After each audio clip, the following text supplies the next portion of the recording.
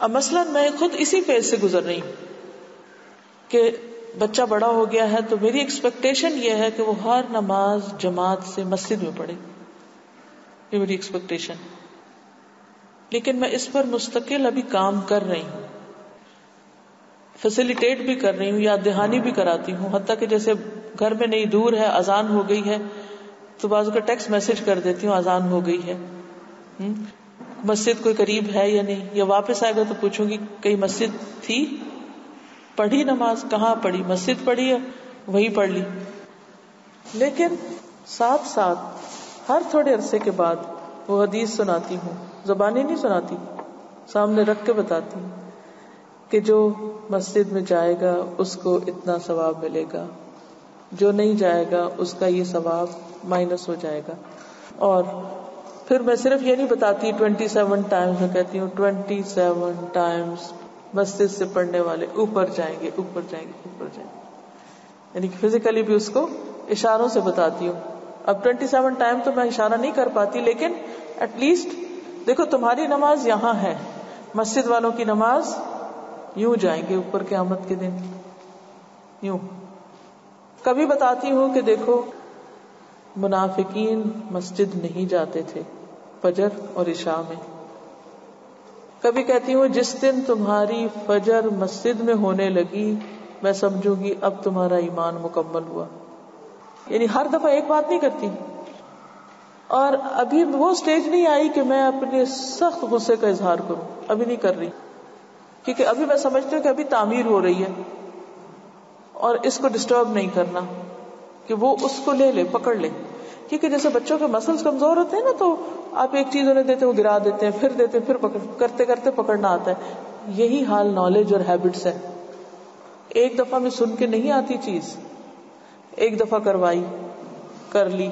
अगली दफ़ा आप चाहते हैं खुद ही चले जाए। नहीं, अभी नहीं जा सकते। हुँ? आप पहले से बता अच्छा वो पाँच मिनट रह गए अजान होने में, क्या ख्याल है कि अब ये वाइंड अप ना करें और ये काम ना करें? फिर उस वक्त में ये भी होता है कि बाजुकाती भी कहती हूँ कि लेट हो गया, पीछे रह गए, देर हो गई। एट टाइम्स ये भी कहना पड़ता है। लेकिन हर वक्त यही कहना काफ़ी नहीं होता। और जैसे उस रोज मैंने आपको बताया था ना कि कुछ साउंड्स ऐसी बना ले कि जो मुख्तलिफ़ मौकों की मुनासबत से, उसके तलाजुम से या उसके कनेक्शन से वो, उस काम को याद कर लें। तो ये सारी चीज़ें जो हैं, वक्त लेंगी। आपने थकना नहीं। आपने हिम्मत नहीं हारनी। पुरुद रहना है। और अपनी उम्मीदों की याद दहानी उनको कराते रहना है। और ये भी बताना है कि अगर ये काम नहीं हुआ तो इसके कितने खतरनाक नतज हो सकते हैं। क्या तुम चाहोगे कि क्यामत के दिन तुम अब्दुल्ला बिन उबई के साथ खड़े हो? हाँ अगर पहले आपने अब्दुल्ला बिन उबई का किरदार वाजे कर दिया और अंजाम वाजे कर दिया तो जिस तरह एक नरम पौधा होता है ना तो उसको स्टेबल होने में वक्त लगता है। ऐसे ही कोई भी एक आदत, पहले छोटे से एक बीज डालेंगे आप, फिर वो छोटी सी कॉम्पल निकलेगी, फिर वो आहिस्ता आहिस्ता बढ़ेगी, फिर करते करते स्ट्रांग होगी, फिर वो फल लाएगी, फिर आप वो फल खा के ठंडे होंगे, फिर आपको खुशी मिलेगी। ये नहीं हो सकता जिस दिन आप बीज डालें, अगले दिन आपके फल लाओ। ये नहीं हो सकता। पॉसिबल नहीं जी। मुझे याद है जब आपने पहली दफ़ा शाम के लिए टाइम टेबल बनाने के लिए कहा था मैं और शाम दोनों चार घंटे का टाइम से हमने शुरू किया था कि चार घंटे हम टाइम बनाते हैं कि हमने इस वक्त क्या करना है इस वक्त क्या करना है।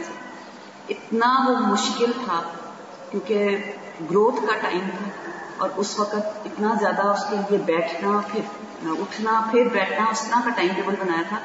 कि अभी हम निकलेंगे, फिर पढ़ेंगे, फिर बीच में ब्रेक फिर उठना है, फिर किसी को मिलना है, फिर इस तरह कर आहिस्ता आहिस्ता माशाल्लाह पूरे दिन का टाइम टेबल बनने लगा और अब माशाल्लाह से उसका खुद ही स्केड्यूल जैसे सेट होते मैंने ये काम करना है।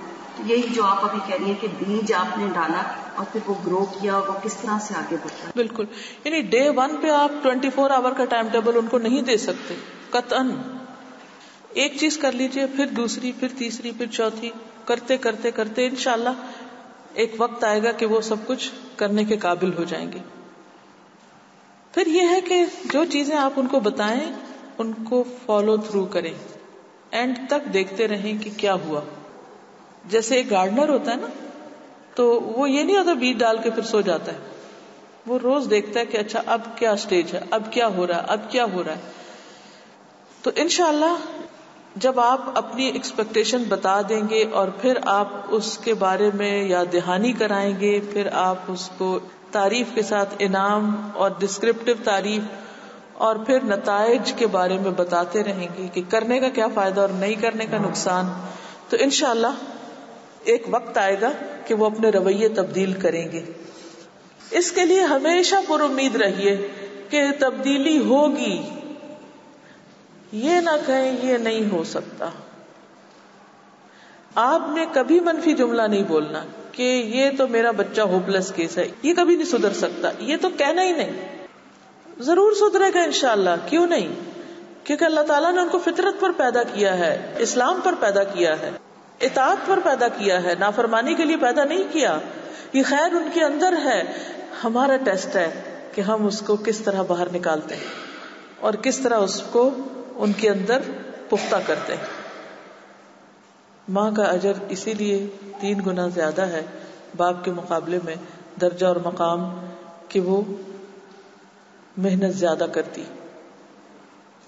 मैं नहीं कहती कि ये सिर्फ़ आप ही का काम है, आपके हस्बैंड्स को भी इसमें ज़िम्मेदारी अदा करनी है, निभानी है, लेकिन उनसे ज़्यादा आपकी ज़िम्मेदारी। तो बहरहाल, ये था पहला हिस्सा। अब हम देखेंगे कि नबी सल्लल्लाहु अलैहि वसल्लम की सुन्नत में हमें ये रवैये किस तरह मिलते हैं। आपका तरीका तरबियत क्या था? क्योंकि आपको जो काम सुपुर्द किए गए थे वो क्या था? यतलू अलैहिम आयाति ही वह जक्की तो ये तस्किया किस तरह किया आपने? क्योंकि आप सबसे कामयाब इंसान हैं। जो जनरेशन आपने तैयार की, उस जैसी कोई जनरेशन नहीं। वो कौन से उसूल थे? वो कौन से तरीके थे? आप क्या करते थे और हमें क्या करना है? ठीक है? हम बात कर रहे थे कि वालदेन फीडबैक के लिए फौरी तौर पर बेताब हो जाते हैं और हिम्मत हार जाते हैं कि उन्हें उनकी कोशिशों का भरपूर सिला नहीं मिल रहा। लेकिन ऐसा नहीं। बच्चों की तरबियत एक सबर आजमा काम है, एक मुस्तकिल मिजाजी के साथ करने वाला काम है। इसलिए हमें मुख्तलिफ़ तरीके आजमाते रहना चाहिए। तारीफ़ के साथ साथ याद दहानी भी कराते रहें और अपनी उम्मीदें बताकर उन्हें फर्माबरदारी का एहसास दिलाते रहें।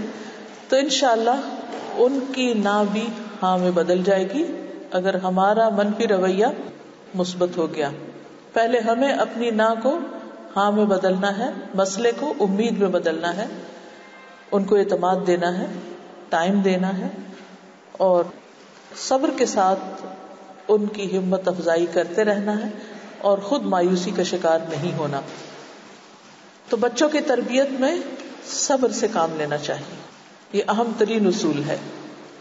इब्ने उमर रज़ी अल्लाह फरमाते हैं कि रसूलुल्लाह सल्लल्लाहु अलैहि वसल्लम ने फरमाया, जो मोमिन लोगों से मेल जोल रखे और उनकी ईजाओं पर सब्र करे, उसे ज़्यादा सवाब होता है उस मोमिन की निस्बत जो लोगों से मेल जोल ना रखे और उनकी ईजा पर सब्र ना करे। बजाय इसके कि आप अपने बच्चों को अबेंडन कर दें, या अपने बच्चों से बोलचाल बंद कर दें, या उनसे ताल्लुक वास्ता कम कर दें, और उनसे मायूस होकर उनको उनके हाल पे छोड़ दें कि मैं ये सब देख नहीं सकती इनकी बदतमीजी, बद अखलाकी। इसलिए अब ये जो जी चाहे करे। इसकी बजाय आप सब्र से काम लेते हुए उनकी तरफ़ से पहुँचने वाली तकलीफों को बर्दाश्त करते रहें और तरबियत से कभी भी मायूस ना हो, क्योंकि जितनी भी तकलीफ़ आप बर्दाश्त करेंगे, उस पर आपके लिए अजर ही अजर है। फिर इसी तरह, मोमिन वो नहीं कि जो सिर्फ़ सिला मिलने पर काम करे। याद रखिए, मोमिन दुनिया में नतीजे की परवाह किए बगैर काम करता है। अगर आपकी कोशिश के बावजूद भी बच्चे नहीं संवरे, वो नहीं ठीक हुए, या जिससे आप एहसान कर रहे हैं, वो नहीं उसका रवैया तब्दील हुआ, चाहे वो आपका शौहर है या बहन भाई, या कोई भी तो भी आप अपना काम नहीं छोड़ेंगे, अपनी तरफ़ से भलाई करते रहेंगे, मरते दम तक कोशिश जारी रखेंगे। नबी सल्लल्लाहु अलैहि वसल्लम ने फरमाया, किसी काम का बदला देना सिला रहमी नहीं। बल्कि सिला रहमी करने वाला वो है कि जब उसके साथ सिला रहमी का मामला ना भी किया जा रहा हो, तब भी वो सिला रहमी करे। यानी जब उसकी बात ना भी मानी जा रही हो, तब भी वो दूसरे के साथ एहसान करता रहे, क्योंकि उसे अपना फ़र्ज़ पूरा करना है। तो तरबियत औलाद हमारा फ़र्ज़ है। बच्चे नहीं भी सुनते, नहीं भी जवाब देते, नहीं भी बात मानते तो भी हमें अपना काम करते रहना है। काम नहीं छोड़ना, ये याद रखिए। फिर इसी तरह मैंने आपसे ये ज़िक्र किया था कि बच्चों की तरबियत में जो चीज़ खलल अंदाजी डालती है, वो उनकी सोचों, उनके कामों, उनकी दुनिया में बार बार इंटरफेरेंस और रोक टोक बार बार की रोक टोक से बचिए। हज़रत अनस कहते हैं, अल्लाह की कसम, मैंने नबी सल्लल्लाहु अलैहि वसल्लम के साथ तकरीबन नौ साल गुजारे, नौ साल उनकी खिदमत की। मुझे नहीं मालूम कि कभी आपने किसी काम के लिए जो मैंने किया हो, ये फरमाया कि तुमने ऐसा क्यों किया? और ना ही उस काम के लिए जिसे मैंने छोड़ दिया हो, आपने यूँ फरमाया कि तुमने ऐसा क्यों नहीं किया? अनस बच्चे थे। दस साल की उम्र में उनकी वालदा उनके पास लाई थी और सारी टीन एज उन्होंने हुजूर वसल्लम के साथ गुजारी थी। लेकिन आप उनको बार बार टोकते नहीं थे। ये क्यों कर दिया, वो क्यों नहीं किया?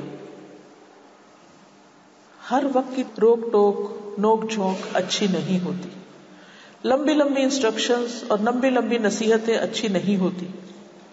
खासतौर पर लोगों के सामने उनको बेइज्जत करना और उनको मजबूर करना कि वो मखसूस काम करेंगे दुरुस्त नहीं। इससे बचे।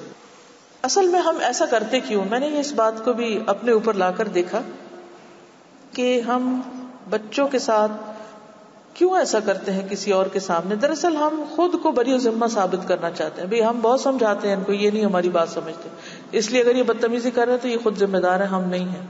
हम तो समझा चुके और देखो, तुम्हारे सामने भी समझा रहे इससे काम खत्म नहीं होगा, इससे फ़र्ज़ पूरा नहीं होगा। हमें अपना फ़र्ज़ सब्र के साथ अदा करते रहना है।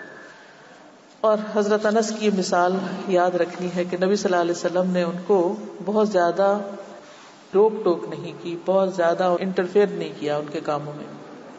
क्योंकि इंटरफेरेंस से बच्चे के तखयलात पर भी असर पड़ता है। तो बाज़त जैसे मैं अपने बच्चे को आवाज़ देती हूँ ना, एक देती हूँ अच्छा मैं आ रहा हूँ। फिर मैं जाकर देखती हूँ तो वो अपने ख्यालों में बैठा होता है, या कोई कॉपी लेके कुछ कर रहा होता है। फिर मैं सोचती हूँ कि मैं थोड़ी देर छोड़ क्यों नहीं देती? इस वक्त क्या पता है इसकी कोई ट्रेन ऑफ़ थॉट्स चल रही हो। और वो किसी नतीजे पे पहुँचना चाहता हो। और मैं बार बार उसको डिस्टर्ब करी, करो करो करो। अभी मुझे ये याद दिला रही है कि आप जब मुझे कहती थी कोई काम तो कहती थी कि सिर्फ़ एक दफ़ा दरवाज़ा नॉक करना है। बार बार नहीं करना। जैसे होता है ना कि बच्चे को याद दहानी करानी होती तो हम सर पे सवार होकर खड़े हो जाते उसको टाइम नहीं देते। तो हमेशा एक दफ़ा नॉक करके छोड़ दें थोड़ा। वो अपने होश में आ जाए। क्योंकि अक्सर ऐसा होता है ना, बच्चे उठते तो ख्वाब सुनाने लगते मामा, आपने मेरा ख्वाब डिस्टर्ब कर दिया। मैं एक ड्रीम देख रहा था और आपने दरवाज़ा नॉक कर दिया। क्योंकि वो ग्रोइंग एज है। वो चीज़ें डिस्कवर कर रहे हैं। वो समझने की कोशिश कर रहे हैं। उनका इमेजिनेशन हमसे कहीं ज़्यादा होता है। उनकी अपनी एक ड्रीम वर्ल्ड होती है। और हम जबर कर करके उनकी क्रिएटिविटी मार देते हैं। उनके तखयल में इतना डिस्टर्बेंस करते हैं कि वो किसी नतीजे पे नहीं पहुँच पाते। लिहाजा वो ज़िंदगी के हर काम में उनके ब्रेक आ जाती है, वो कंप्लीट नहीं करते फिर। क्योंकि हमने खुद ही इतनी रुकावटें डाली, वो बेचारे क्या करें? इस आदत से हमको बाज आना होगा। वॉच करें, निगरानी करें टाइम दें लिमिट सेट करें। लेकिन एक दफ़ा उनको लिमिट सेट करने के बाद आज़ादी दे दें। कि भाई ये पाँच गज लंबी रस्सी है, इसके अंदर रहो। बाहर नहीं जाना, बस रहो। उछलो, कूदो, खेलो, जो करना करो। टाइम और लिमिट सेट कर दें। ये जगह, इतना वक्त। जमान और मकान, दोनों चीज़ें। यहाँ तक जाने की इजाज़त है इससे आगे नहीं है। इतनी देर के लिए इजाज़त है, इससे ज़्यादा की नहीं है। लेकिन जब आप उनको उतना हिस्सा दे देना फिर एक एक पैसे का हिसाब न लें। अच्छा बाजू का हम उनको ईदी दे देते हैं, या उनको कोई पैसे दे देते हैं, या उनको कोई चीज़ दे देते हैं, फिर हम पूछते हैं अच्छा फिर इसका क्या किया? अच्छा फिर ये क्या किया? फिर वो क्या किया? फिर भाई छोड़ दो। जितना वो शेयर करे, ठीक है, लेकिन फिर एक एक चीज़ की मीन मेख नहीं निकालनी चाहिए, क्योंकि इससे क्या ज़ाहिर होता है किसी को ट्रस्ट नहीं कर रहा। ना आप बच्चे को कहते बेटा, वज़ू करके मस्जिद जाओ। वो कहते हम मस्जिद में कर लेंगे। होता ना ऐसे कई दफ़ा। आप मान जाइए कि उन्होंने मस्जिद में कर लिया होगा। जब वापस आए तो अदब इतमान का इजहार ना करें। मेरा नहीं ख्याल कि तुमने वज़ू किया है। वो तुम्हारे पाँव में ये चीज़ नज़र आ रही है मुझे। नहीं। ये ना कहें। एतमाद करें। फिर इसी तरह हर बच्चा मुख्तलिफ़ होता है। एक बच्चा ये होता है कि स्कूल से आते ही पहले होमवर्क करेगा, फिर कपड़े बदलेगा, फिर खाना खाएगा। दूसरा बच्चा है, वो आकर पहले कपड़े बदलेगा, फिर होमवर्क करेगा, फिर खाना खाएगा। तीसरा है, वो पहले आके खाना खाएगा, फिर कपड़े बदलेगा, फिर होमवर्क करेगा। है ना? हर बच्चे की आदत फ़र्क होती है। एज लॉन्ग एज वो तीनों काम कर रहे हैं, और चौथे नमाज़ भी है तो ये सारे कर रहे हैं तो तरतीब से क्या फ़र्क पड़ता है? नबी सल्लल्लाहु अलैहि वसल्लम ने हज के मौके पर एक ने कहा, मैंने बाल मुंडवा लिए अपने ला हरज। किसी ने कहा, मैंने पहले कुर्बानी करी। आपने कहा, ला हरज। चौथे ने आके कहा, मैंने कंकड़ियाँ पहले आपने कहा, ला हरज। कोई बात नहीं। एज लॉन्ग एज तुम ये सारे खाने पुर कर रहे हो तो कोई फ़र्क नहीं कि यहाँ से शुरू करो, या यहाँ से शुरू करो। बस करना मकसूद है। ये एक्सपेक्टेड है, ये करना है, आप जैसे भी करो करो। Assign the task and leave them alone आखिर उनकी भी तो अकल है। उनको भी सोचने दें। उनको भी करने दें। क्योंकि इसलाह की नीयत से भी किसी के पीछे पड़ जाना बिगाड़ पैदा करता है। पीछे ना पड़े, पीछा छोड़ दे। मतलब पीछे से बड़ा वॉच करना मॉनिटर करना तो है। मॉनिटर करेंगे कि क्या हो रहा है। लेकिन सर पे सवार नहीं होंगे। इसी तरह टो नहीं लगानी। तजस नहीं करना। कि उनके दराज खोलें, उनकी डायरिया पढ़ें। ठीक है, जब बहुत कोई खराबी हो तो ज़रूर आप देखें कि क्या हो रहा है। लेकिन तजस ना करें। क्योंकि इससे क्या होगा? आप परेशान होंगे। और वो आप पर एतमाद छोड़ देंगे, शर्मिंदा होंगे। वो हया की चादर तार तार होगी, काम खराब हो जाएगा। फिर वो बुराई पर निडर हो जाएँगे। अगर आपको पता भी चल जाए कि आपका बच्चा किसी इंतहाई खराब काम में तो सिर्फ़ उसको डांट डपट के और बता के मुझे चल गया पता तुमने क्या किया और तुम क्या कर रहे हो और ये और इससे इसलाह नहीं होने की। वो तो चल भी गया तो वो क्या करेगा अब? अब आप देखें उस खराबी की जड़ काटें। मसलन आपको पता चले इसने झूठ बोला है। अब एक तरीका ये कि आपने मुझे पता है तुम झूठ बोल रहे तुम झूठे हो, तुम झूठ बोल रहे हो। ये नहीं कहना आपने। आपको पता चल गया कि इसने बात गलत की अब आप बिल्कुल ज़ाहिर ना करें कि आपको पता चल गया। अब आप उसको हिकमत के साथ झूठ की खराबी बताएँ कि झूठ बोलना कितनी बुरी बात है। और उसको नहीं पता कि आपको पता है कि उसने झूठ बोला है। लेकिन जब आप उसको चारों तरफ़ से घेर लेंगे ना कि ये झूठ है और झूठ का अंजाम ये होगा और इसका नुकसान ये है, ऐसा है, वैसा है वैसा है, फिर ये सारी मरम पट्टी करके ना फिर आप उसको छोड़ दें। फिर कुछ अरसे के बाद फिर मॉनिटर करें कि क्या वो आदत गई कि नहीं गई। फिर आप देखते हैं कि अभी भी नहीं गई। फिर कोई और तरीका इख्तियार करें। जब तक उसको इस बुराई के बारे में खुद नफरत नहीं हो जाती आप हकीकत में झूठ नहीं छुड़ा पाए। सिर्फ़ ये कहना काफ़ी नहीं कि झूठ बोलना बुरी बात है। अब मसलन ये हदीस इंतहाई मौसर है कि जो शख्स झूठ बोले, वादा खिलाफी करे, ख्यानत करे, वो पक्का मुनाफिक है, खा वो नमाज़ पढ़े और रोजा रखे। कितनी सख्त हदीस है। अब ये उस वक्त आप नहीं सुनाएँगे जब बच्चे ने झूठ बोला। आप उससे अलग बताएँगे और उससे पहले ये बताएँगे मुनाफिक कौन होता है। और उसके साथ ये बताएँगे मुनाफिक का अंजाम क्या होता है, तब ये हदीस उसके ऊपर असर करेगी। आप खाली लफ्जों से नहीं सिखा सकते। उसे रिलेट करें उनकी लाइफ के साथ कि कहाँ तक पहुंचाती है ये चीज़। अब मसलन मुनाफिक का अंजाम क्या है? कोई जहन्नम के सबसे निचले गड़े में होगा। जनरली टॉक करें मुनाफिक जो डबल स्टैंडर्ड्स होते हैं, जिनके या दोहरे रवैये होते हैं, उनका नुकसान ये। अब जब वो देखेंगे अच्छा सबसे निचले खड़े तो एक दिन जब मैं ये बात करी तो मेरा बेटा कहता कि इससे क्या फ़र्क पड़ता है? जब कोई झरना में चला ही गया, ऊपर जाए या नीचे जाए, चला ही गया ना? मैंने कहा, नहीं, इससे बहुत बड़ा फ़र्क पड़ता है। फिर मैंने उसे मुख्तलिफ़ चीज़ों से एक्सप्लेन किया कि देखो, तुम नीचे और तुम्हारे ऊपर कोई और चढ़ जाए, उसके ऊपर कोई और और उसके ऊपर तो फ़र्क पड़ेगा या नहीं? तो आप देखो कि जो सबसे निचले गड़े में होंगे, उसके ऊपर उसके ऊपर उसके ऊपर, उनको तो कोई रोशनी भी नज़र नहीं आएगी, उनको तो सांस भी नहीं आएगा। ऐसा भयानक मंजर पेश करें कि वो कहे, वाकई निचला गड़ा बहुत ही बुरा गड़ा है। फिर उसको आप जाके बताएँ कि झूठ मुनाफ्त की तरफ़ ले जाता है और मुनाफ्त जहन्नम में ले जाती है, जहन्नम के भी सबसे निचले वाले गड़े फिर उसे समझ आएगी कि झूठ बोलना क्यों बुरा है। लेकिन अगर आप उसको सिर्फ़ ये कहे, झूठ ना बोलना, अल्लाह ताला जहन्नम में फेंकेंगे, ये नहीं काफ़ी।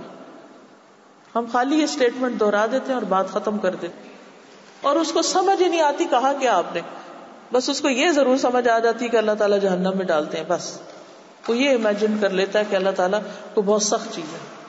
लिहाजा जब कोई और हुक्म आप सुनाते हैं, अल्लाह ताला का अच्छा वो जो जहन्नम में डालते हैं। फर्मा बरदारी अल्लाह की अगर आप सिखाना चाहते हैं तो सिर्फ़ एक डर और खौफ से नहीं करवा सकते। इसलिए बहुत केयरफुल हो कि आप किस तरह किसी चीज़ को पेश कर रहे हैं?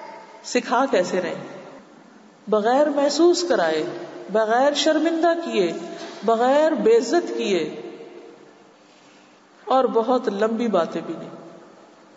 थोड़ी सी की फिर हट गए, थोड़ी सी की फिर हट गए, इस रुख से की फिर हट गए, उधर से की फिर हट गए, उधर से की फिर हट गए। एक दिन मैंने अपने बेटे से कहा कि मैं तुम्हें किसी बात के लिए मजबूर नहीं करूँगी। कहती, बिल्कुल, आप वाकई नहीं मजबूर करती लेकिन आप यहाँ से आती हैं, यूँ यूँ आती हैं। फिर बंदे को करना ही पड़ता है। तो उससे मैंने अंदाज़ा लगाया कि जो हम तरीके करते वो भी उनको सब समझ आते हैं। तो मैंने कहा, बेटा, जो अल्लाह ने कहा, वो तो करना ही है ना?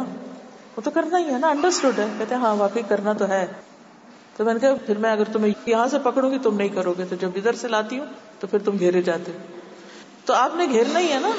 घेरना सराउंड करना है करना है करना है कि वो शैतान के हाथ ना चढ़े, नुकसान में ना जाए। प्रोटेक्ट कर रहे हैं ना, यूँ भी।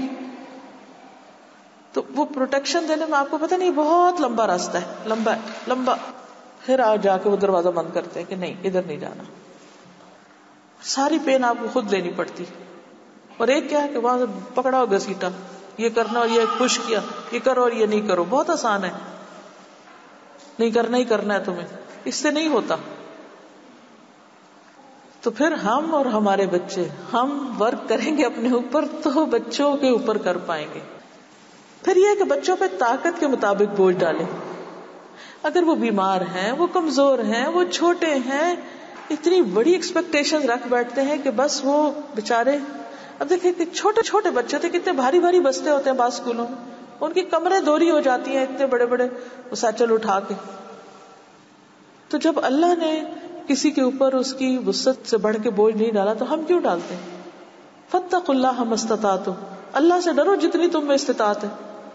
लायुकल्लिफुल्लाह नफसन वसाहा तो ऐसा काम ना कहें कि जो उनके हिम्मत से बाहर हो।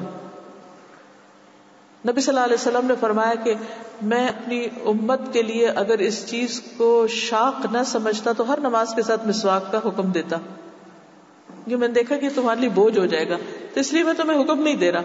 लेकिन ये कह के छोड़ दिया, और साथ इतनी फजीलतें मिसवाक की बताई कि वो शाख भी हो तो हम कहते नहीं, कर ही लें किसी तरह। फिर उठा ही लेते हैं, जब वज़ू करने जाते हैं तो कहते हैं, कुछ कर ही लें, क्योंकि नमाज़ का अजर इतने गुना बढ़ जाएगा। तो इस तरीके से हम उनको किसी मशक्कत में न डालें कि जो वो कर ना सके। जो सब्जेक्ट उनके इंटरेस्ट का नहीं, वो उनको ज़बरदस्ती पढ़ाने की कोशिश ना करें। अब मसलन, बाज बच्चों को साइंस सब्जेक्ट बिल्कुल पसंद नहीं होते, लेकिन उनको पढ़ने होते हैं, तभी वो जाकर अपना हाई स्कूल कंप्लीट कर सकते हैं। तो अब आपने उनमें ये शौक पैदा करना है कि देखो, इसके पढ़ने से तुम्हें क्या फ़ायदा होगा? इसके पढ़ने से तुम्हें क्या बातें पता चलेंगी? ठीक है, तुम आगे नहीं पढ़ना। लेकिन इस लेवल तक पढ़ लो, क्योंकि अगर कोई तुमसे बात करेगा तो तुम तो बुद्धू बन के बैठे रहोगे, तुम्हें समझ नहीं आएगी कि क्या बात हो रही। तो तुम्हें पता तो होना चाहिए, ठीक है, तुम इसको अपना प्रोफेशन नहीं बनाओ, लेकिन एटलीस्ट जान तो लो कि ये क्या चीज़ है। मिसाल के तौर पर, यानी उसको इस तरीके से समझाएँ कि उसके लिए मुश्किल आसान हो जाए। जो काम वो नहीं करना चाहता, वो कर पाए। उसको इस तरह से एक्सप्लेन करें या उसको फैसिलिटेट करें या उसको समझाएँ। फिर इसी तरह एक वक्त में एक रवैये की इसलाह करें। मसलन एक सेंटेंस में या एक वक्त में इतनी तकरीर ना करें। तुम नमाज़ भी वक्त पर नहीं पढ़ते, तुम कुरान भी रोज नहीं पढ़ते, तुम फुलाना भी रोज नहीं करते, तुम ये भी नहीं करते, वो भी नहीं करते, ना तुम अपना यूनिफॉर्म चेंज करते तो मैं ये भी खराब, जब हमें गुस्सा आता ना, फिर हम अव्वल से आखिर तक सब गिनवा डालते इसका कोई फ़ायदा नहीं, कोई फ़ायदा नहीं। इस सिर्फ़ हम अपनी एनर्जी वेस्ट कर रहे हैं। इस एनर्जी को कहीं और लगाइए, सबर में लगा लीजिए। ठीक है? One step at a time एक वक्त में एक मसले को हल करें पहले। जब वो जरा ठीक हो जाए तो दूसरे पर आ जाए। और ये भी मैंने अपने बच्चों से सीखा, जब मैं ऐसी तकरीर करती थी अच्छा देखो मैं जा रही हूँ, तुमने मेरे अर्थ ये ये ये करना। वो कहते, हमें भूल गया आपने क्या कहा? हमें ऐसे याद नहीं रहता। मैं कहते अच्छा लिखो ये और ये और ये।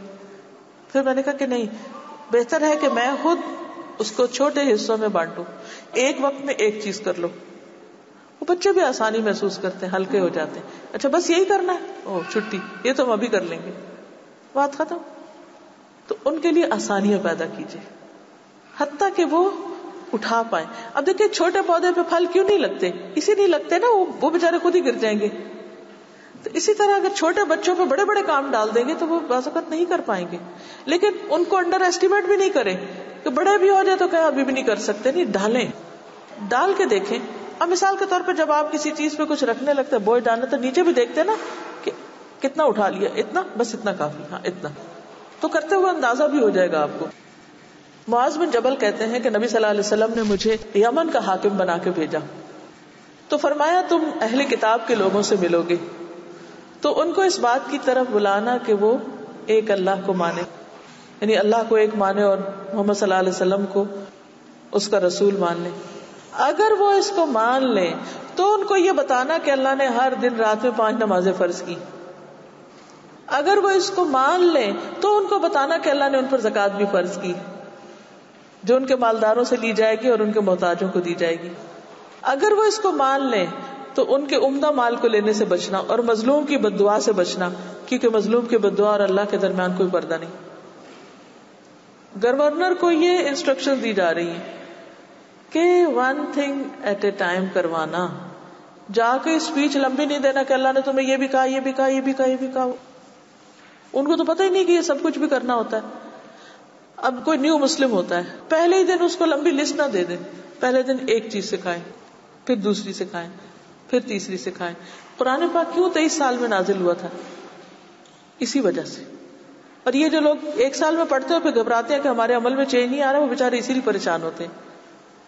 आप उनको तसल्ली दें कि ठीक है, एक दफ़ा आप पढ़ लें सारा, और फिर एक एक चीज़ पर वर्क करते चले जाएँ। पहले फराइज को ले लें, फिर सुन्नतों को, नवाफिल को। तो घबराए नहीं, करते रहें और उनको भी टाइम दें। हम लोगों से भी इतनी जल्दी एक्सपेक्टेशन रख लेते हैं। अब इसने सारा कुरान पढ़ लिया और अभी फरिश्ता क्यों नहीं नज़र आता? और फिर बदनाम करने लगते हैं, कोई फ़ायदा नहीं कुरान पढ़ने का, क्योंकि लोग तो चेंज ही नहीं हो रहे। नहीं गिव दम टाइम इसलिए मुझे कभी घबराहट नहीं होती, परेशानी नहीं होती। अब रोज़ाना कोई ना कोई चिट आ जाती है मेरे पास, कोई मुझे लिख देता है, आपके स्टूडेंट ऐसा करते हैं, वैसा करते फिर मैं कहती हूँ, वो इंसान है, उन्हें टाइम दो। वो कैसी ज़िंदगी गुजार रहे थे अगर उनको अल्लाह ने कुरान की तरफ़ आने की रहनुमाई दी है, उनके घरों के हालात कैसे उनको कैसी कैसी मुश्किल का सामना है गिव दम टाइम एटलीस्ट वो कर तो रहे हैं ना। वो स्ट्रगल कर रहे हैं। वो करते करते इस स्टेज पर भी आ जाएँगे जिस पर आप हैं, या आप उनको देखना चाहते हैं। लेकिन डे वन पे उनसे एक्सपेक्ट ना करें। मायूसी होगी। फिर आपका अपना काम भी ढीला हो जाएगा। आप भी छोड़ बैठेंगे, फ़ायदा को नहीं करने का। उनको इंसान समझे। और फ़ौरन अपने आप को लेके इस मकाम तक पहुँचने में मुझे कितने साल लगे? मैं क्यों चाहती हूँ वो चीज़ आज ही मेरे बच्चों में आ जाए या स्टूडेंट्स में आ जाए? अभी उनका वो टाइम है जो मैंने फुलाम वक्त में गुजारा था। तो इससे इंसान मायूस नहीं होता। एफर्ट लगी रहती। तो इस वीक का जो मेन थीम है ना, वो ये है कि हमें मुस्तकिल काम करते रहना है, सबर, हिकमत के साथ। और जो कर रहे हैं, उसको कंटिन्यू करना है, मुख्तलिफ़ तरीके ऐड करते हुए। फिर यह कि तरतीब वार काम बताया करें, छोटे से बड़े की तरफ़ जाया करें। मसलन, हजूर सल्लल्लाहु अलैहि वसल्लम की खिदमत में आराबी हाजिर हुआ।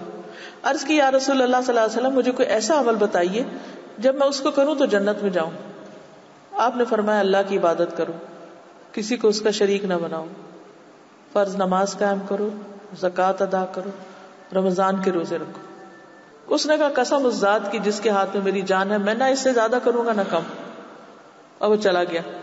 आपने फरमाया, जो किसी जन्नती को देखना चाहता है तो उसको देख ले। वो पक्का याद करके चला गया, बस मैं ये कर लूँगा। तो इसी तरह जब आप किसी को काम दे तो आप उसे कहें कि ये चार काम कर लो, ये तीन कर लो, ये दो कर लो, ये एक कर लो। अच्छा अगर तुमने कर लिया तो ये मिल जाएगा तुम्हें। एक स्टेप तुम आगे चले जाओ। तो उससे क्या होगा कि उसके अंदर एक हिम्मत आ जाएगी कि हाँ ये मैं कर सकता हूँ। जब हम उनको अनगिनत काम दे देते हैं तो फिर वो नहीं कर पाते। फिर गिनती की शक्ल में, चार कर लो, चार ना करो। यानी आप उसको इंक्रीज कर सकते हैं ना। जब छोटे हो तो एक एक चीज़ फिर थोड़ा बढ़ाएँ, फिर बढ़ाएँ। मसलन, इब्ने अब्बास से मरवी है कि अब्दुल कैस का वक्त हुजूर सल्लल्लाहु अलैहि वसल्लम की खिदमत में हाजिर हुआ। कहा कि हम रबिया कबीले में से हैं और आपकी खिदमत में सिर्फ़ हुरमत वाले महीनों में हाजिर हो सकते हैं, क्योंकि रास्ते में जंगो जदल होती है, हम आ नहीं सकते। इसलिए आप हमें ऐसी बातों का हुक्म दीजिए कि हम सीख लें और जाकर पीछे रहने वालों को भी सिखाएँ और उनको इनकी दावत दें। आपने फरमाया, मैं तुम्हें चार चीज़ों का हुक्म देता हूँ और चार चीज़ों से मना करता हूँ। चार चीज़ें करने की क्या अल्लाह पर ईमान। फिर आपने उसकी तफसील बताई कि इस बात की गवाही कि अल्लाह के सिवा कोई मबूद नहीं और मैं अल्लाह का रसूल हूँ। दूसरे नमाज़, तीसरे जक़ात, चौथे, जो माल गनीमत तुम्हें मिले, उसमें से पांचवा हिस्सा मुझे अदा करना, क्योंकि अल्लाह रसूल का था ना पांचवा हिस्सा। चार चीज़ों से मना करता हूँ। कद्दू के बर्तन, सब्ज, लाखी, खजूर और तारकोल के बर्तनों को इस्तेमाल करने से रोकता हूँ। ये इस्तेमाल नहीं करते। यानी कुछ बर्तन इस्तेमाल करने से रोका उनको, क्योंकि उस कौम में खासतौर पर इनको इस्तेमाल किया जाता है। इनमें शराब वगैरह बनती थी तो इस वजह से इनको रोका। फिर स्टेप बाय स्टेप जैसे बच्चा चलना सीखता है ना तो वो एकदम भागता थोड़ी है। पहले आप उसको खड़ा करते उंगली से चलाते फिर किसी चीज़ के सहारे से चलाते फिर आप उसको थोड़ा सा छोड़ते फिर पकड़ लेते हैं। फिर करते करते फिर वो आहिस्ता आहिस्ता चलने लगता है, फिर दौड़ने लगता है।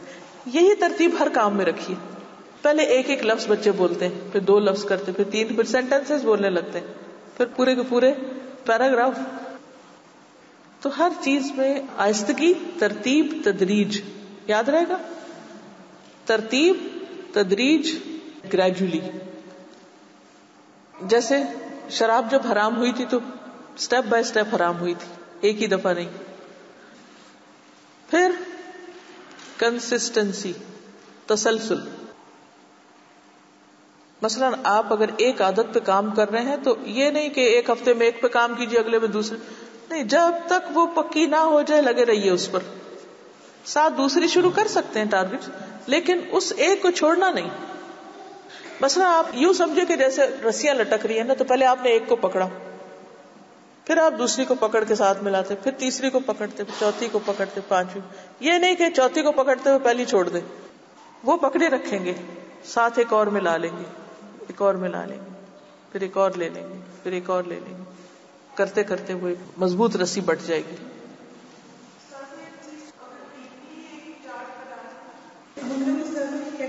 जो नमाज़ वक्त पे पढ़े उससे और जो लेट हो जाए पे तो वो बच्चों को बहुत एक्साइटमेंट होती फिर हम काउंट करते थे इस वीक में किसके ज़्यादा हैप्पी फेसेस हैं किसके सैड फेसेस तो ऐसी एक्टिविटीज़ से जैसे वो बिल्कुल।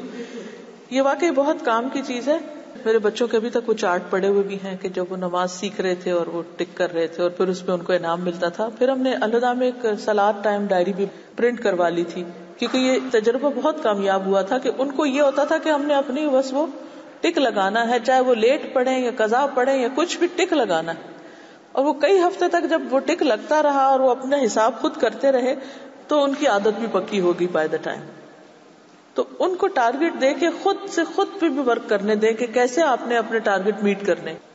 लेकिन वो क्लियर होने चाहिए एक्सपेक्टेशन क्लियर होनी चाहिए। फिर आप देखिए कि अपनी ताकत के मुताबिक काम करना। नबी सल्लल्लाहु अलैहि वसल्लम ने फरमाया कि अल्लाह ताला को वो काम सबसे ज़्यादा पसंद है जो अमल में खा थोड़ा ही हो, लेकिन मुसलसल हो। हज़रत आयशा जब भी कोई अमल करती, फिर उसको अपने लिए लाजिम कर लेती। यानी कोई एक आदत शुरू करती, फिर उसको पक्का कर लेती। फिर दूसरी शुरू करती, फिर उसको पुख्ता कर लेती।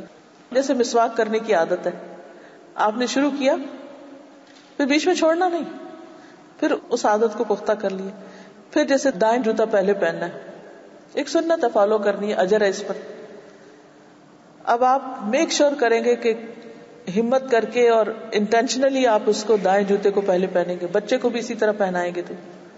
फिर आपने मसला बैठ के पानी पीना है या दाएँ हाथ से पीना है कोई भी आपने सुन्नत करनी। तो एक छोटी सी सुन्नत शुरू कर लें, फिर उसके ऊपर तसलसल करें, फिर वो पक्की हो जाए, फिर साथ और शुरू कर लें। बहुत सारी चीज़ें इकट्ठी शुरू नहीं करें, घबरा जाएँगे। हज़रत आयशा फरमाती कि रसूलुल्लाह सल्लल्लाहु अलैहि वसल्लम के पास एक चटाई थी और आप रात को उसका एक हुजरा सा बना लेते थे। फिर उसमें नमाज़ पढ़ते तो साहबा भी साथ नमाज़ पढ़ने लगे। आप दिन को उस चटाई को बिछा लेते। एक रात सहाबा का हुजूम हो गया। आपने फरमाया, ए लोगो, तुम पर इतना अमल करना लाजिम है जिसकी तुम ताकत रखते हो। अल्लाह सवाब देने से नहीं थकता, तुम अमल करने से थक जाते हो। अचानक शुरू करके फिर छोड़ना नहीं। अल्लाह के नज़दीक पसंदीदा अमल वो है जिस पर दवाम हो। खा वो थोड़ा ही क्यों ना हो। और आले मोहम्मद सल्लल्लाहु अलैहि वसल्लम का भी यही मामूल था कि जब कोई अमल करते तो मुस्तकिल मिजाजी से करते। तो वन वर्ड में इस वीक की थीम क्या है? मुस्तकिल मिजाजी। और इतना ही काम करें कि जिसको आप फिर मेंटेन कर सकें। अब मसलन अगर आप एक्सरसाइज करते हैं, एक दिन आप घंटा भर कर लें और दूसरे दिन आप कुछ भी ना करें। फिर आप किसी दिन दो घंटे कर लें, और फिर कुछ भी ना करें। फिर आप कहें, नहीं, वो वीक में इतने घंटे करनी होती। नहीं, वो वीक में एक ही दफ़ा सारी करने से उतना फ़ायदा नहीं होगा जो रोज़ाना थोड़ी थोड़ी करने से होगा। इसी तरह अल्लाह ताला चाहते तो बस ये टारगेट दे देते, दिन में पाँच नमाजें पढ़नी। हम सारी ईशा के वक्त इकट्ठी कर लेते। तो उसका वो फ़ायदा तो नहीं ना कि जो दिन के हर थोड़े वक्त के बाद नमाज़ पढ़नी होती है। क्योंकि नबी सल्लल्लाहु अलैहि वसल्लम फरमाया कि अल्लाह ताला नहीं थकता, तुम थक जाओगे। तो अल्लाह ताला को वो अमल महबूब है जिस पर मुस्तकिल मिजाजी की जाए। अब्दुल्ला बिन अमर बिन आसिम मरवी के नबी सल्लल्लाहु ने फरमाया अब्दुल्ला, फुला की तरह ना हो जाना। वो रात में इबादत किया करता था, फिर उसने छोड़ दी। तो असल क्या है? काम करना है, फिर याद दहानी करानी। बच्चों को याद दहानी की बहुत ज़रूरत होती। अब बाज माए कहती है कि हम बार बार कहें उनको कि नमाज़ पढ़ो। ये बार बार कहना नहीं है, ये याद दहानी है। इसको बार बार कहना ना कहें, याद दहानी करना समझे। रिमाइंडर क्या हमें रिमाइंडर की ज़रूरत होती अपने लिए? होती है ना? हम एक दूसरे को भी कहते हैं अच्छा मुझे याद करा देना। तो बच्चे तो जल्दी भूल जाते हैं। तो उनको भी रिमाइंडर चाहिए होते हैं। उस वक्त फ्रस्ट्रेट ना हो। बता तो चुकी थी मैं, फिर तुम क्यों भूल गए? तुम्हें याद रखना चाहिए था। वो ठीक है, सब बातें। लेकिन अभी आदत पुख्ता नहीं हुई। जब तक याद दहानी। और अलहमदल्ला माओ में ये आदत होती भी है, दूर बैठे भी वो उनका पीछा करती रहती है कि तुमने नाश्ता वक्त पे करना है, तुमने ये करना है, वो करना है। लेकिन वो हमारे सारे टारगेट दुनिया से मुतलिक होते हैं। दीन से मुतलिक जो चीज़ें हमने उनके अंदर डालनी है, उनकी अमूमन याद दहानी भूल जाते हैं। फिर हम सोचते हैं, ये तो टू मच हो जाएगा। अब बाकी इतना कुछ का है तो इसको छोड़ दो। तो दीन पे कंप्रोमाइज कर लेते हैं आके। वो नहीं होना चाहिए। ठीक है ना?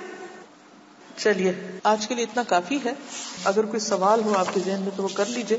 इनशाला बाकी कल हम मुकम्मल करेंगे और आज की बातों की कल थोड़ी सी फिर रिमाइंडर भी हो जाएगा। मुझे उम्मीद है कि आप अपने असाइनमेंट्स कर रहे हैं और उसके साथ साथ अपनी इन चीज़ों को पुख्ता भी करते जा रहे हैं। जी, बहुत अच्छा सवाल है इनका कि मुस्तकिल मिजाजी के लिए कोई टिप बताइए। इसमें मैं चाहूँगी आप लोग भी शेयर करें, लेकिन मुझे जिस चीज़ ने बहुत फ़ायदा दिया वो ये कि कामों को मैंने टाइम के साथ बांधा। मसलन, हमें दिन में पाँच नमाजें बताई गई अगर मुख्तलिफ़ कामों को आप पाँच नमाजों के आसपास कर लें, मसलन, फजर से पहले ये करना है, फजर के बाद ये करना है। जोहर से पहले ये करना है, जोहर, क्योंकि नमाज़ तो पढ़नी ही पढ़नी है, वो तो फ़र्ज़ है ना। तो मैं सोचती हूँ कि अल्लाह ताला ने ये फ़र्ज़ क्यों करार दिया? कि किसी हाल में माफ़ नहीं। कि उस वक्त तो हम अल्लाह के हुजूर हाजिर हो गए सब कुछ छोड़ के। तो जब हम उसके साथ किसी चीज़ को कर लेते हैं ना तो फिर वो आसानी हो जाती है। ठीक है ना? और उसमें फिर प्रायोरिटाइज करना होगा कि कौन सी चीज़ हमने करनी ही करनी है उस वक्त। तो इनशाला आप देखेंगे कि आपको फिर भूलेगा नहीं। फिर जब वो चीज़ें आदत बन जाए तो फिर अगला टारगेट सेट कर लें। एक ये तरीका है। दूसरा यह है कि आप मुख्तलिफ़ जगहों पर लिख लें। या मुख्तलिफ़ जगहों के साथ उनको बाँध लें। मसलन, रोज़ाना का ज़िक्र। वैसे तो इंसान करता ही रहता है, लेकिन जैसे ज़िक्र इलाही का कार्ड है तो उसको आपने किस वक्त पढ़ना है? जिस वक्त पढ़ना है मतलब किचन में पढ़ना है तो किचन में उसको लगा लें। गाड़ी में पढ़ना है तो गाड़ी में रख दें। फिर इसी तरह बाकी भी जो काम आपने करने हैं, मुख्तलिफ़ जगहों पर रिमाइंडर लगा दें। कुछ कामों के लिए दिन मुकर कर लें। ठीक है? अच्छा इसी तरह यह होता है, एक रुकावट मुस्तकिल मिजाजी में ये होती है कि आप तो करना चाहते घर वाले नहीं वो काम करने देते। फिर अपने टाइम टेबल को उनके अराउंड भी बनाए। ठीक है ना? कि वो किस वक्त आपको वो करने देंगे। मसला कुछ कामों को जब बच्चे स्कूल गए हो, उस वक्त करिए ताकि वो रुकावट ना हो। कुछ कामों को उनके साथ मिल के प्लान कीजिए तो आसानी हो जाएगी। कुछ कामों के लिए दिन मुकर कर लीजिए। कि मसलन जुमे के दिन या जुमेरात की शाम को वीकेंड पर हम ये काम किया करेंगे। मतलब कोई आउटिंग है, कोई उनके साथ खेल है आपका, कुछ भी। उसको भी इतनी अहमियत दीजिए जितनी फिर आप दूसरी चीज़ों को देते हैं। हम क्या करते हैं? बच्चों के साथ किए हुए वादे को एक तरफ़ फेंक देते हैं और बाकी सारे काम अपने निपटाते रहते हैं। उससे फिर काम नहीं होता। कोई आप में से टिप शेयर करेगा? कि मुख्तलिफ़ चीज़ों की आदत कैसे बनाए और मुस्तकिल मिजाजी के साथ कैसे करें। जी हाँ चेकलिस्ट बनाने से बहुत फ़ायदा होता है। मसलन, यह है कि ज़िंदगी के मुख्तलिफ़ हिस्सों में आपको मुख्तलिफ़ कामों की, मुख्तलिफ़ तरह की एक्सरसाइजेस की, मुख्तलिफ़ तरह की प्रैक्टिस की, मुख्तलिफ़ चीज़ें सीखने की ज़रूरत होती। अब वो जो टाइम टेबल आपने पाँच साल पहले बनाया था, वो आज नहीं चलेगा। लिहाजा बदलते टाइम के साथ जब कहीं चेंज आए तो जो टाइम टेबल आप बनाए, उसकी तरतीब अपने पास लिख लिया करें कि मुझे सुबह उठ के ये करना है, फिर ये करना ये करना ये करना ये काम करने। यानी टास्क अपने बना लें, फिर उनको मुख्तलिफ़ खानों में डाल दें और फिर उस वक्त में उसको करने की कोशिश करें। जी, आप।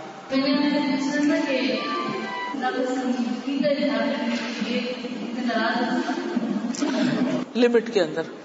और लिमिट से मुराद ये है कि हमने खुद ऐसा नमूना पेश नहीं करना कि खुद ही नापसंदीदा लगे।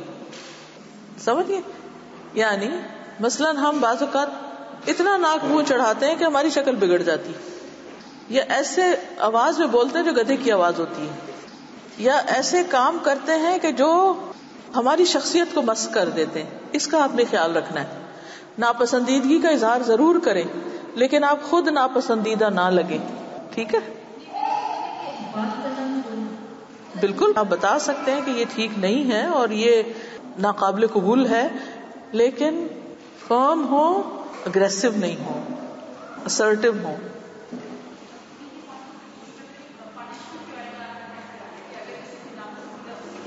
जी, पहले आप समझा के जब एक वक्त आए तो आप पनिश कर सकते हैं, मगर पनिशमेंट ऐसी ना हो कि जिससे फ़ायदे की बजाय उल्टा नुकसान में चला जाए। हार्मफुल ना हो। जैसे आप सल्लल्लाहु अलैहि वसल्लम ने मारने की बात की, बच्चे को दस साल से पहले मारना नहीं चाहिए। अब यह है कि जब मारे भी तो आपने फरमाया, चेहरे पे नहीं मारो। ऐसी जगह नहीं मारो कि निशान पड़े। फिर क्या मारेंगे आप? ऐसे हल्का फुल्का ही कुछ करेंगे ना। चमड़ी नहीं उधेड़ सकते। यानी पनिशमेंट का भी एक लिमिट है। जी, आप फरमाइए। मैंने उसको देख के और जहाँ जहाँ सप्लीकेशन देख सकते थे तभी मिनट में देखना है तो उसी पे लगा दी। So you know, with this tip, Alhamdulillah, I've done most of the supplication. So very good अब जैसे अभी तो स्टिकर भी मिलते हैं और ये बहुत सारी टेक्निक्स आ गई। जिस एज में मैंने दुआएँ सीखी थी उस वक्त स्टिकर वगैरह नहीं अवेलेबल थे। तो मैंने क्या किया कि जैसे हमारे बरामदे के बाहर एक सिंक लगा होता था जिसपे हम वज़ू करते थे। तो उसके साथ की दीवार के ऊपर मैंने पेंसिल से दुआएँ लिख दी। और पढ़ती रही पढ़ती रही, जब वो याद हो गई तो फिर उसको साफ़ कर दिया। तो कोई भी तरीका आप ऐसा कर सकते हैं कि जिससे आपको रिमाइंडर हो कि आप वहाँ पहुँचे तो आपको याद ओह, मैंने ये पढ़ना है। और फिर आप पढ़ ही लें। फिर वो करते करते ये जुबानी याद हो जाएँगी। ठीक है? जजाकुम अल्लाह खैरन। सुबहानक अल्लाहुम्मा व बिहम्दिका नशहदु अल्ला इलाहा इल्ला अंत। नस्तगफिरुका व नतूबु इलैक। अस्सलामु अलैकुम व रहमतुल्लाहि व बरकातुहू